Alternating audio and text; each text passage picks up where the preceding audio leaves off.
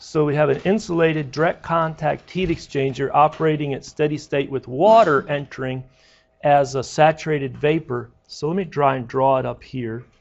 We'll have uh, inlet 1, and this is uh, water as saturated vapor. Okay, it comes in at 1 bar. And we could look up the temperature, which is T1, which is, this is P1. It's PSAT at 1 bar which is just under 100 degrees C, 99 something. Let me look at my notes. It's around 99 degrees uh, C. Okay?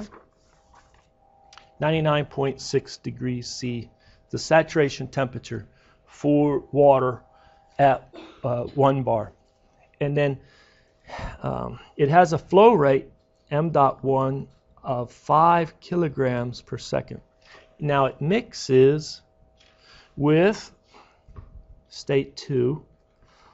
M dot 2 is 3 kilograms per second. Now, it is liquid water. We don't want to mix uh, CO2 and water. We don't, you know, we don't want to mix refrigerant and oil. You just have water water mix, okay? So uh, the water's coming in at uh, T2 of 25 degrees C in one bar. Okay. And uh, what do you think about the condition of water at 25 degrees C1 bar? Superheated vapor? Subcooled liquid? Two phase liquid vapor?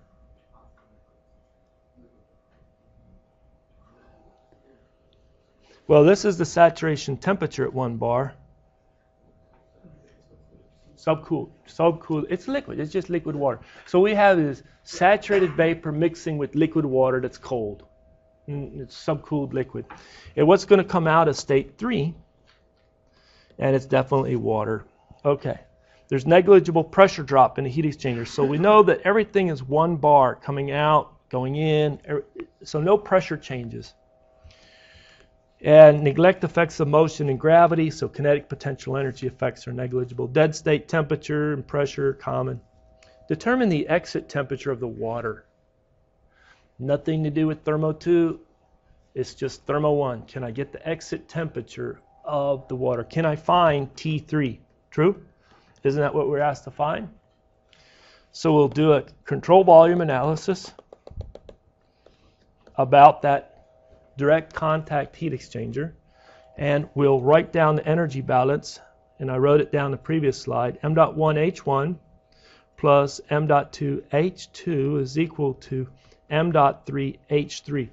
A lot of times I like to check. It's like, do I know do I know M dot 1 from the information given? Yeah. M dot 2 from the information given.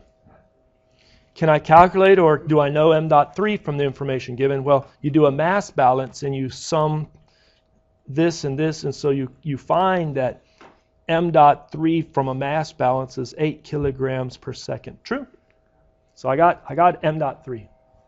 How about h1? Can I get h1?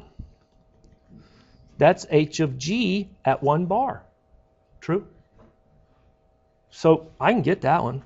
How about h 2 H2. Oh, it's subcooled liquid, water, 25 degrees C.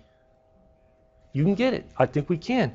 How would we get it? H2 is equal to H of F at 25 degrees C. That's a great approximation. True?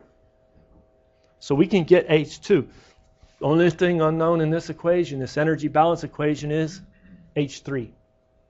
So I actually calculate H3. And now I know the pressure. So I compare H3 which H of F and H of G, and I see it's in between. What does that mean about the state 3? I have a quality. It's a two-phase mixture. I had saturated vapor. I brought in some cold liquid, and now I have some two-phase mixture at one bar going out, right? And when we do that, we find that the quality at 3 is H3 minus H of F divided by Hg minus H of F. And you can calculate it's around 57.3%. Uh, so it's, it's, it's a two-phase mixture. Okay? It condensed some of that saturated vapor that cold liquid did. All right. So, what is the temperature of the water coming out?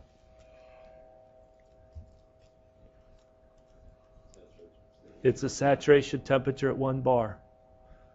So, is the temperature at 3 equal to 99.6 degrees C? That seems funny, doesn't it?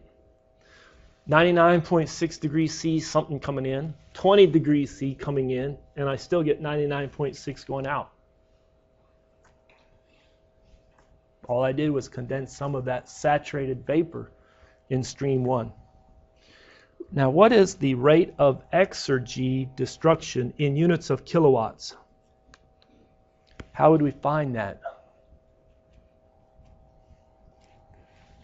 Two strategies. First strategy is you can say that the rate of exergy destruction is equal to T naught times the rate of entropy production and go and get the rate of entropy production. You can do that way. You can also do an exergy balance where you say the mass flow rate at 1, EF1 minus EF3, that's what comes out of that hot stream, goes to M dot 2 EF3 minus EF2, that's what's going into the cold stream, plus some destruction, true? And you can calculate this first term, the second term, and the exergy destruction. Either way, let me give you uh, some numbers because I see I'm running a little bit out of time. The exergy destruction rate is going to be 86.7 kilowatts. All right?